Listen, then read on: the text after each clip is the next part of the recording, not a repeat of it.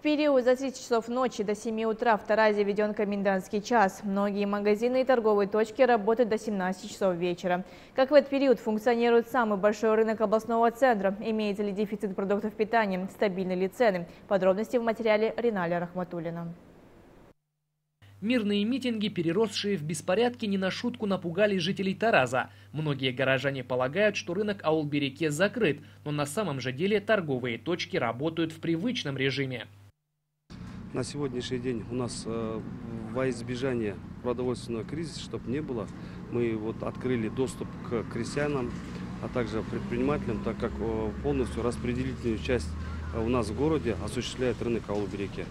Конечно, в эти дни на рынке покупателей не так много, однако торговля продолжается. Побеседовав с предпринимателями, удалось выяснить, что дефицита товаров не наблюдается.